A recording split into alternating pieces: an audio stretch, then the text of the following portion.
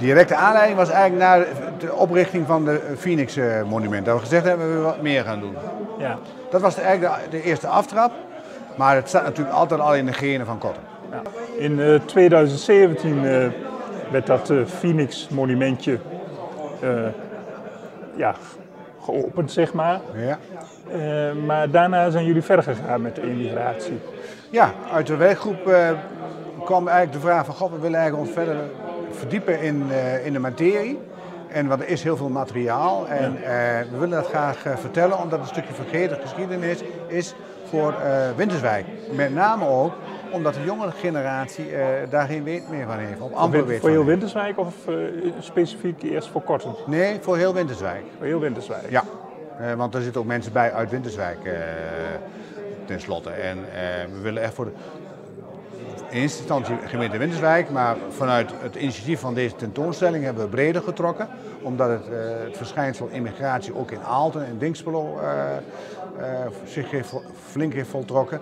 En we hebben daar de grens bij betrokken, omdat we heel goede banden hebben met Euring. En daar zien Ja. we eigenlijk dus soortgelijke aantallen die zijn vertrokken in diezelfde jaren. Dus het beeld is, is gelijk. Is dat thema dan in het verleden in Winterswijk een beetje onderbelicht gebleven? Nou, ik denk niet dat het onderbelicht is gebleven. En eh, je moet dat verhalen eh, uit de geschiedenis blijven vertellen. En dat is denk ik een beetje onze, onze doelstelling. De aanleiding was zeg maar de V Phoenix en dan met name de eh, verhuizers van toen naar Amerika vooral. Maar als je door die tentoonstelling heen gaat, dan gaat het niet alleen over die tijd, het gaat over alle tijden. Immigratie is iets van alle tijden. Ja, we willen echt ook laten zien eh, dat er parallellen zijn met, met, met latere eh, tijdsvakken en de huidige eh, actualiteit. En ehm, ja, als je de, de geschiedenis kent, zeg ik altijd, ja, dan weet je ook hoe je de toekomst kunt gaan, gaan inrichten. En we hebben daar nu mee te maken, maar het, eh, het geheugen van de mensen is heel erg kort. En door dit is nog, nog weer als een stip op de horizon te zetten, oké, denk er eens even aan. In Winterswijk sprekende, eh, is toch eh, van elke Winterswijker zijn er zeker eh, familieleden naar Amerika gegaan. Eh, vergeet je eigen geschiedenis niet eh, voordat je wat roept. Ja. Wat nu verder?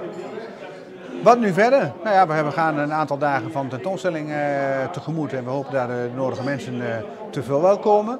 En eh, ja, het is best wel heel veel informatie, dus ik kan me ook heel voorstellen dat mensen twee keer willen komen. Dus Ja. eerst eens hier komen kijken en vervolgens gaat de tentoonstelling op reis, om het maar zo uit te drukken. En dat is in eh, 29 en 30 januari zal hij naar Bocholt gaan. De eerste twee weken van februari staat hij in Aalten, eh, dus daar bij kijken. Ja, daar kun je ook kijken. Dan komt hij terug naar Euring toe ergens in eh, maart. Eh, dat weekend moet nog vastgesteld worden. En vervolgens eh, is het eh, vanaf eh, 7 april in de wereld van Wenters eh, voor drie weken. Zijn jullie nou klaar met het thema immigratie? Ik denk dat je hier nooit meer klaar bent. Het is een eh, virus. Eh, ik heb dat virus eh, heel jong opgelopen. En elke keer komen toch weer nieuwe eh, dingen naar voren. En eh, ik weet niet wat de werkgroep hierna zou, zou willen. Eh, we hebben het nog niet over gehad. We gaan eerst eens kijken hoe dit valt.